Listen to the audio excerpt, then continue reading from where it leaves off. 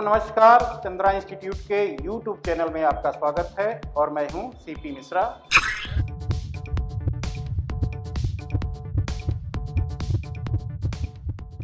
मिश्रा, आज हम शुरुआत करने जा रहे हैं लोअर पीसीएस 2019 के जोग्राफी को को और आज का चैप्टर होगा हमारा देशांतर। ठीक, पिछली वीडियो में आपको दिखाए थे हम, अक्षांश रेखाओं के बारे में समझाए थे। अक्षांश रेखाओं से जो क्वेश्चन बन रहे थे, उनको बताए थे। और एक मैपिंग का काम दिया था हमने आपको, मैप कराने के लिए, जिसमें हमने बताया था कि भूमध्य रेखा किन किन देशों से गुजरती हैं, ये आपको मैप में भरना है, फिल करना है, एक आउटलाइन मैप लेकर के उसमें फिल करना था। कर्क रेखा के बारे में हमने बताया था कि कर्क रेखा में कौन कौन से देश आ रहे हैं कर्क रेखा किन किन देशों से होकर गुजर रही है, उन उन रेखाओं को या उन देशों को आपको काउंट करना है मैपिंग करना है उनकी, इसी तरीके से मकर रेखाओं के बारे में ही बताया था। तो चलिए, आज शुरुआत करेंगे हम देशांतर रेखाओं को कि क्या देशांतर रेखाएँ क्यों होती हैं, इन्हें क्यों खींचा गया है, पृथ्वी पर इनकी क्या आवश्यकता है, इससे हम हमें कौन कौन से क्वेश्चन यहाँ से बन सकते हैं, या पीसीएस में कौन कौन से क्वेश्चन यहाँ पूछे जा सकते हैं, इसकी चर्चा हम करेंगे। तो सबसे पहले आपको बता दें कि देशांतर रेखाओं की गणना की गई है समय को समझने के लिए, ठीक ना? जैसे अक्षांश रेखाओं को खींचा गया था, उसी तरीके से देशांतर रेखाओं को भी खींचा गया है। बसरते थोड़ा अंतर है देशांतर रेखाएँ उत्तर से दक्षिण की ओर खींची गई हैं और अक्षांश रेखाएँ आपने पढ़ा होगा, ये पूरब से पश्चिम की ओर खींची गई हैं। तो सबसे पहले आइए देखते हैं कि देशांतर रेखाओं की परिभाषा क्या है। क्या होती हैं देशांतर रेखाएँ इनकी डिफिनेशन हम देख लेते हैं, तब हम इनको अलग अलग समझाने की कोशिश करेंगे। तो यहाँ देखिएगा देशांतर रेखा की हमने परिभाषा लिख दिया है। लिखा है, उत्तरी ध्रुव को दक्षिणी ध्रुव से मिलाने वाली काल्पनिक रेखाएँ होती हैं। रेखाओं को देशांतर रेखाएँ कहा जाता है। ठीक, यानी वास्तविक धरातल पर एक रेखाएँ नहीं है। ये हम ग्लोब पर क्योंकि हमने बताया था कि पृथ्वी को समझने के लिए दो चीज़ों की आवश्यकता होती है, या तो ग्लोब की या मानचित्र की। तो हम आपको ग्लोब पर पहले समझाएँगे, फिर इसको मानचित्र पर भी कोशिश करेंगे समझाने की। तो देखिएगा, एक आउटलाइन हमने मैप बना दिया है। ये पृथ्वी का आउटलाइन मैप बना दिया है। ये उत्तरी ध्रुव है, उत्तर की ओर है, ये उत्तरी ध्रुव है, ये नीचे हमारा दक्षिणी ध्रुव है। परिभाषा के अनुसार देखिएगा, उत्तरी ध्रुव को दक्षिणी ध्रुव से मिलाने वाली रेखाओं को देशांतर रेखाएँ कहा जाता है। तो ये नॉर्थ पोल हो गया आपका, ये हो गया साउथ पोल। इस नॉर्थ पोल और साउथ पोल को एक रेखा के द्वारा हमने मिला दिया। अब आप देखिएगा, इस रेखा के द्वारा यह गोला यह गोला दो पार्ट में फिर डिवाइड हो गया, दो भागों में विभाजित हो गया। एक रेखा के पूर्व में हो गया और एक रेखा के पश्चिम में हो गया। जो भाग रेखा के पूर्व में है, ये पूरा यहाँ से लेकर यहाँ तक, यानी ये पूरा चलेगा यहाँ तक। ये पूरा, ये पूर्वी गोलार्ध कहा जाता है। और इस रेखा के, यानी कि ज़ीरो डिग्री देशांतर रेखा के पश्चिम वाला जो भाग है, ये पूरा, ये हो गया हमारा पश्चिमी गोलार्ध हो गया, ठीक? तो पूर्वी गोलार्ध और पश्चिमी गोलार्ध, और ये हमने बताया था, ये भूमध्य रेखा है, इसके उत्तर में उत्तरी गोलार्ध और इसके दक्षिण में दक्षिणी गोलार्ध। तो चारों गोलार्ध आज समझ चुके होंगे आप कि किसे उत्तरी गोलार्ध कहा जाता है, अक्षांश रेखाओं को हमने बताया था तो वहाँ उत्तरी गोलार्ध, दक्षिणी गोलार्ध के बारे में बताया था। देशांतर रेखाओं के द्वारा हम आपको पूर्वी गोलार्ध और पश्चिमी गोलार्ध के बारे में बता रहे हैं। यानी कि ज़ीरो डिग्री देशांतर रेखा के पूर्व वाला भाग पूरा पूर्वी गोलार्ध है और ज़ीरो डिग्री देशांतर रेखा के पश्चिम वाला भाग ये पश्चिमी गोलार्ध है। इसीलिए जब आपको देशांतर या अक्षांश में कंफ्यूजन होता होगा तो यदि ईस्ट लिखा हुआ है तो या वेस्ट लिखा हुआ है तो ये देशांतर रेखाएँ होती हैं और नॉर्थ साउथ लिखा होता है डिग्री के आगे नॉर्थ साउथ लिखा होगा तो वो अक्षांश रेखाएँ होती हैं। हम आपको बताते चलें कि ये जो डी ज़ीरो डिग्री देशांतर रेखा है, इसको कई नामों से जानते हैं। इसे ज़ीरो डिग्री देशांतर रेखा भी कहते हैं।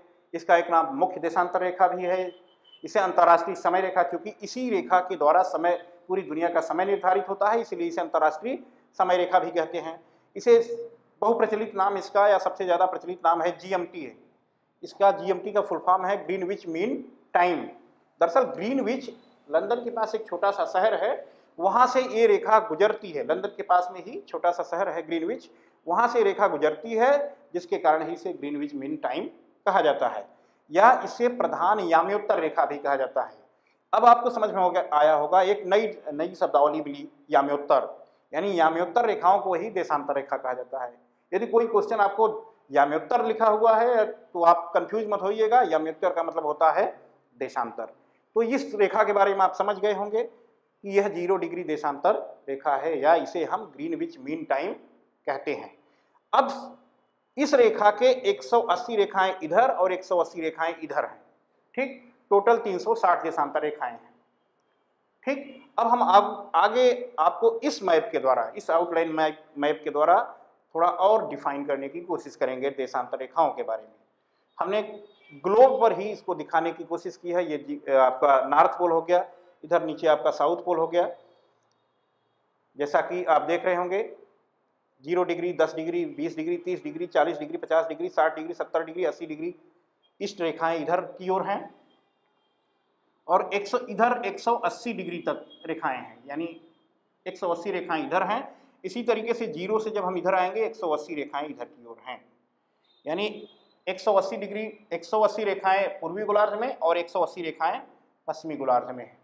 ठीक तो 180 और 180 यही दोनों मिला करके 180 देशांतर रेखा पूर्वी गोलार्ध में 180 देशांतर रेखा पश्चिमी गोलार्ध में है। और कुल मिला दें तो ये हो गई 360 यानी पृथ्वी पर कुल 360 देशांतर रेखाएँ खींची गई हैं। आपसे क्वेश्चन पूछा जा सकता है कि पृथ्वी पर कुल कितनी देशांतर रेखाएँ हैं? तो सीधा सा उत्तर होगा आपका कि 360 डिग्री देशांतर रेखा है। ठीक? अब इसी देशांतर रेखाओं को हम मानचित्र के द्वारा भी समझाने की कोशिश कर रहे हैं। तो आइए आप मानचित्र को भी थोड़ा समझ लीजिएगा। आप ये मानचित्र देख रहे होंगे। हमने ज़ीरो डिग्री मुख्य देशांतर रेखा ये खींच दी है। इसके इधर 180 देशांतर रेखाओं को हमने दिखाने की कोशिश की है। 20 degree 40 degree 60 degree 80 degree 100 degree 20 120 degree 140 degree 160 degree 180 degree. ये चूँकि ज़ीरो से ज़ीरो डिग्री ये देशांतर रेखा है, इसके पश्चिम में है, इसीलिए इसको हम वेस्ट कहते हैं। और ये 180 डिग्री देशांतर रेखाएँ ईस्ट में है ज़ीरो डिग्री के, इसलिए पूर्वी गोलार्ध की देशांतर रेखाएँ हैं, जिसे हम ईस्ट कहते हैं। अब मुख्य जो इसकी समस्या है, या मुख्य जो इसका कारण है जानने का, वो क्या है, इसको देखिएगा। हमने बताया था कि देशांतर रेखाओं को समय को ज्ञात करने के लिए, समय कैसे ज्ञात करते हैं, और दूसरा दो स्थानों के समय के अंतर को समझने के लिए। ये दोनों चीज़ें आप समझ लीजिएगा, और फिर हम यहाँ से देखेंगे कि कौन कौन से क्वेश्चन पूछे गए हैं। समझिएगा हमारी पृथ्वी गोलाकार है, जैसा कि आप ग्लोब में देख रहे होंगे। इधर ग्लोब देखिएगा आप। ग्लोब को देखिए, पृथ्वी गोलाकार है और पृथ्वी हमारी पश्चिम से पूर्व की ओर घूम रही है। यदि मान लीजिए सूर्य यहाँ है है। हमने सूर्य बना दिया। सूर्य इधर है और पृथ्वी हमारी इधर है। और आप देखिएगा, इधर ईस्ट देशांतर रेखाएँ हैं, यानी पूर्वी गोलार्ध की देशांतर रेखाएँ इधर हैं और इधर पश्चिमी गोलार्ध की देशांतर रेखाएँ हैं। हमारी जो पृथ्वी है वो पश्चिम से पूर्व की ओर घूम रही है, ऐसे। यह गोला ऐसे घूम रहा है तो जो भाग पूर्वी गोलार्ध में है, वहाँ सूर्य की किरणें पहले पहुँचेंगी। इसीलिए आप देखे होंगे कि जहाँ भी आप देखेंगे, हमेशा सूर्य का किधर उगता है? पूरब दिशा में ही उगते हुए दिखाई देता है। क्यों? क्योंकि पूर्वी भाग में सूर्य पहले दिखाई देता है, पश्चिम से पूर्व घूमने के कारण। ठीक? तो जो भाग ईस्ट में होगा, वहाँ सूर्योदय पहले होगा। जो भाग वेस्ट में होगा, वहाँ सूर्योदय बाद में होगा। तो जो ईस्ट में होगा, वहाँ समय पहले होगा और जो वेस्ट में होगा, वहाँ समय बाद में होगा। तो अब इसके द्वारा हम कैसे समय ज्ञात करते हैं? इन देशांतर रेखाओं के द्वारा हम समय कैसे ज्ञात करते हैं, इसको थोड़ा देखिएगा। क्योंकि हमारी पृथ्वी में कुल 360 देशांतर रेखाएँ होती हैं, ये हमने बता दिया।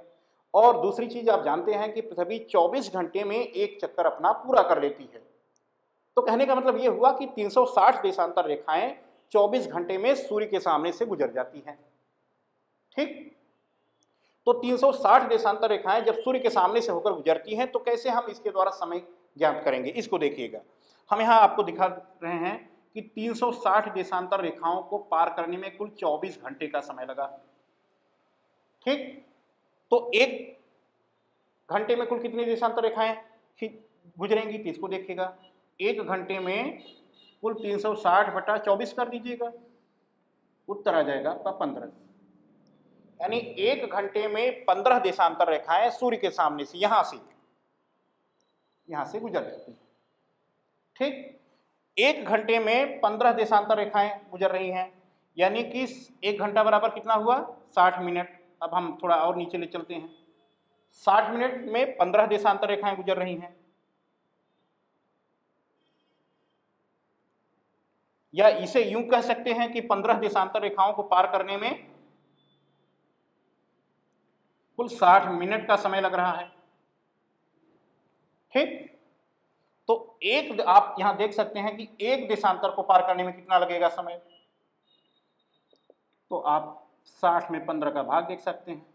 तो पंद्रह चौका कितना हो जाएगा? साठ। यानी एक देशांतर को पार करने में, सूर्य के सामने से गुजरने में चार मिनट का समय लगता है।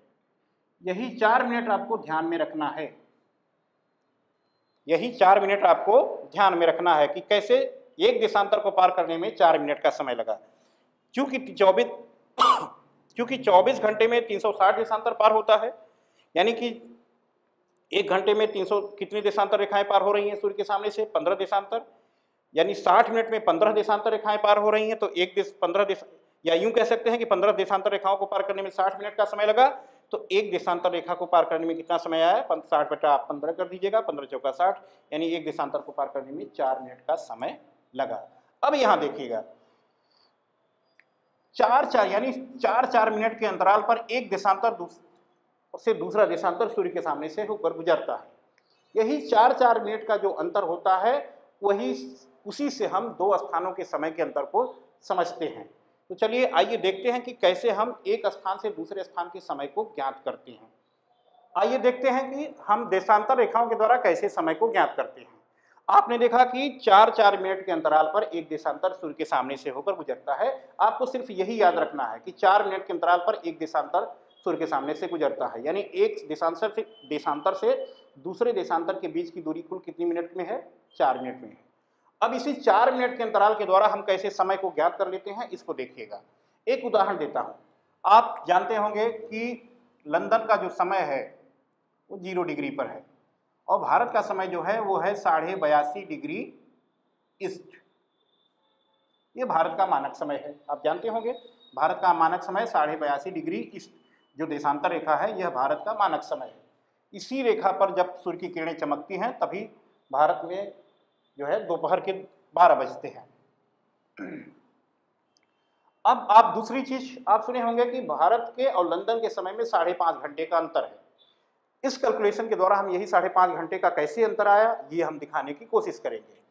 तो सबसे पहले हम देखेंगे कि दोनों देशांतरों के बीच में, दोनों स्थानों के जो देशांतर हैं, उनके बीच में कितने डिग्री का, यानी कितनी देशांतर का अंतर है। तो ये तो ज़ीरो डिग्री है, आप जानते हैं। यहाँ से भारत पूर्व में है। कितना पूर्व में है? साढ़े बयासी डिग्री देशांतर पूर्व में है। हमने बताया था कि जो भाग पूर्व में होगा, क्योंकि सूर्योदय पूर्व में पहले होता है, वहाँ सूर्य पहले निकलेगा तो वहाँ समय पहले होगा। तो ज़ीरो डिग्री पर मान लीजिए, अभी भारत में बारह बजे हैं। दोपहर के बारह बजे है। ठीक? और आपको लंदन का समय ज्ञात करना है तो वैसे तो आप साढ़े पाँच घंटा माइनस कर देंगे तो पता चल जाएगा। लेकिन ये साढ़े पाँच घंटा कैसे माइनस करेंगे? कैसे साढ़े पाँच घंटे एक्चुअल कैसे आएगा, उसको हम दिखाते हैं। क्योंकि हमको दोनों देशांतरों के बीच में जो अंतर है, कितने डिग्री का, ये सबसे पहले ज्ञात करना है। तो आपको पता है कि ज़ीरो से साढ़े बयासी में अंतर जो आएगा, वो साढ़े बयासी डिग्री का ही आएगा। तो इसी साढ़े बयासी डिग्री को हमको मिनट में और घंटे में परिवर्तित करना है। आपको पता है कि एक देशांतर को पार करने में चार मिनट का समय लगता है, और साढ़े बयासी डिग्री देशांतर है ये तो सबसे पहले बयासी है। बयासी में चार का आप गुणा कर दीजिए। तो आ जाएगा चार आठ बत्तीस, तीन सौ अट्ठाईस मिनट। यानी बयासी डिग्री को पार करने में कुल कितना समय लगा था? 328 मिनट का। एक डिग्री को पार करने में चार मिनट का समय लगता है तो आधा डिग्री को पार करने में कितना समय लगेगा? दो मिनट का। तो कुल कितने मिनट हो गया? 330 मिनट हो गया। यानी यदि लंदन के समय में और अपने भारत की मानक समय में कुल कितने मिनट का अंतर है? मिनट में आप चेंज करेंगे तो 330 मिनट का। इसी 330 मिनट को आप घंटा मिनट में परिवर्तित कर दीजिए। इसमें भाग दे दीजिए 60 का। साठ पंचे तीन सौ बचा तीस, यानी पाँच घंटा तीस मिनट। ये जो है अंतर है। और आपको पता है कि भारत और के और लंदन के समय में कितने घंटे का अंतर है? साढ़े पाँच घंटे का अंतराल आता है। अब चूँकि साढ़े पाँच घंटा हम ईस्ट में है, हमारे यहाँ सूर्योदय उनके यहाँ की जब सूर्योदय होता है, उसके साढ़े पाँच घंटा पहले ही हमारे यहाँ सूर्योदय होता है। तो साढ़े पाँच घंटा हम पहले समय होता है और उनके यहाँ साढ़े पाँच घंटा पीछे समय होता है। तो अभी भारत में यदि बारह बजे हैं तो इसी बारह बजे में साढ़े पाँच घंटा निकाल दीजिए तो एक्चुअल समय पता हो जाएगा। जैसे बारह बजे में यदि सात, पाँच घंटा निकाल देंगे तो कितना बजेगा? सात बजेगा। सुबह के अर्ली मॉर्निंग वाला जो सात बजता है, सात बजे होंगे। इसी में आधा घंटा और निकाल देंगे सात बजे में। तो कितना हो जाएगा? छः बजकर तीस मिनट। ये छः तीस क्या है? एम यानी सुबह के छः तीस बज रहे हैं। जब हमारे यहाँ दोपहर के बारह बज रहे होंगे तो लंदन में छः बजकर, सुबह के छः बजकर तीस मिनट हो हैं ठीक? हमें यह अनुमान हो चुका है कि आपको ये सारी चीज़ें पता हो चुकी हैं। एक सवाल मैं देता हूँ आपको हल करने के लिए। आप सवाल को हल करिएगा और जैसा फीडबैक होगा वैसा बताइएगा और हम उस सवाल को पुनः हल करने की भी कोशिश करेंगे कि कैसे आपको समझ में आया कि नहीं। जैसे मान लीजिए हम एक समय दे, देते हैं कि यदि 40 डिग्री ईस्ट पर। सुबह के 9 बजे हैं। तो 40 डिग्री वेस्ट पर क्या समय होगा? ये क्वेश्चन मान लीजिए हम आपसे पूछ लेते हैं। तो आप इस समय को कैसे, हम इसको समझा भी देते हैं। इसको कैसे आपको ज्ञात करना होगा? अब हम एक मान, इसको सबसे सरल तरीके से मानचित्र से आप समझ सकते हैं। तो आप मानचित्र के द्वारा हम इसको और सरल तरीके से समझाने की कोशिश करेंगे। अब मानचित्र पर देखिएगा, हम यहाँ दिखा दिए हैं ज़ीरो डिग्री, इधर से 180 डिग्री वेस्ट की देशांतर रेखाएँ, इधर ज़ीरो से 180 डिग्री ईस्ट की देशांतर रेखाएँ हैं। आपका जो सवाल है, वह है कि 40 डिग्री वेस्ट पर सुबह के 9 बजे हैं। 40 डिग्री ईस्ट पर सुबह के 9 बजे हैं। यानी ये 40 डिग्री ये है इस रेखा पर सुबह के 9 बजे हैं। और 40 डिग्री वेस्ट का ये समय है। इन दोनों के बीच का जो अंतर है, उसी का अंतर हमें पूछा गया है, समय का अंतर। तो ज़ीरो से 40 डिग्री इधर और ज़ीरो से 40 डिग्री इधर। तो 40 और 40 को कितनी हो गई? 80 देशांतर रेखाएँ हो गई। यानी 80 देशांतर रेखाओं का आपको समय बताना है।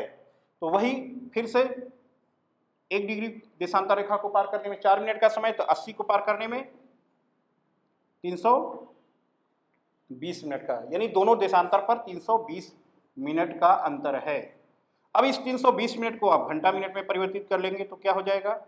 इसमें 60 का भाग दे देंगे तो 60 पंचे 320 बचा, यानी पाँच घंटा पाँच घंटा 20 मिनट का फ़र्क आया। दोनों के समय में पाँच घंटा 20 मिनट का 40 डिग्री ईस्ट और 40 डिग्री वेस्ट में पाँच घंटा 20 मिनट का फ़र्क आया। अब आपको, अब क्वेश्चन देखिएगा। सुबह के नौ बजे हैं। ईस्ट पर 40 डिग्री ईस्ट पर सुबह के नौ बजे हैं।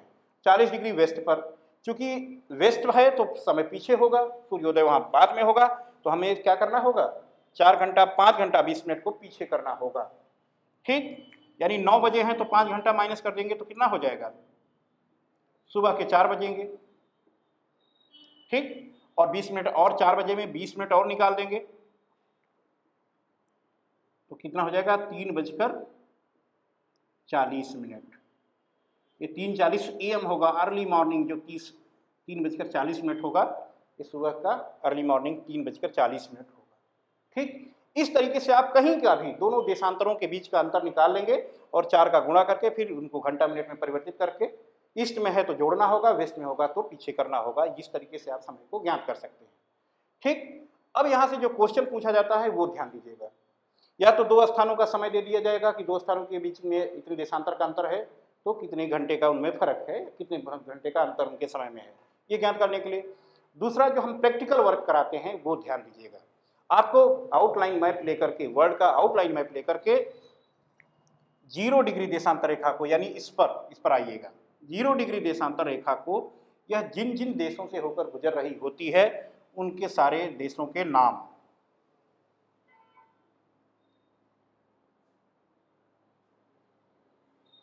ज़ीरो डिग्री देशांतर रेखा किन देशों से होकर गुजरती है?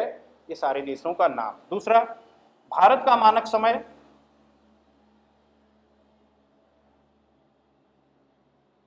यानी साढ़े बयासी डिग्री ईस्ट। भारत के किन किन राज्यों से होकर गुजर रही है? भारत का आउटलाइन मैप ले लीजिएगा। भारत के या आउटलाइन मैप आप बना भी सकते हैं भारत का। तो भारत का मानक समय साढ़े बयासी डिग्री ईस्ट जो है, वह किन किन राज्यों से होकर गुजर रहा है, इसका आप एक आउटलाइन मैप बनाएँगे, ठीक? अब इतना कंप्लीट कर लेंगे तो आपका देशांतर जो है, वह चैप्टर कंप्लीट हो जाता है। Okay thank you